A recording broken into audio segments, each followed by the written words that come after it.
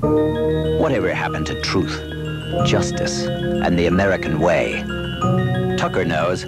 He knows it's all part of the act. And he knows the players. A convict, I never killed anybody. You manipulated union funds, Harry.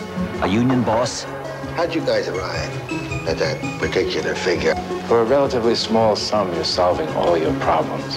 the president, See what they're doing to me? This might be construed as a form of uh, Blackmail? By that greaseball? and the competition. What would you like? surprise me. The fate of America rides on a deal that turns politics into a circus act. If I start, you'll see the biggest wildcat strike in history. And I want him to uh, make a contribution of $1 million. 2 million. If they can't hold on to their wallets if they're careless, that's not our problem. It's an act of faith and deception. You've been a one-man show all your life, and if you die, that show's over. You owe it to your dreams to stay alive, Harry. Love and betrayal. I miss you too. Sometimes I wonder. How can you say that? honor and disgrace. Just a business deal between two presidents, huh?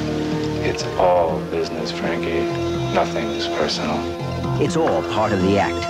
But Tucker's not playing around. He plays for keeps. I read the fine print. I check the precedents. I even eat crap if I have to, because if I didn't, you heroes would flush this country down the toilet.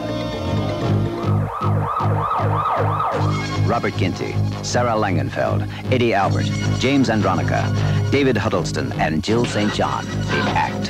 Why do you do it? I love the action. The act. From Film Ventures International.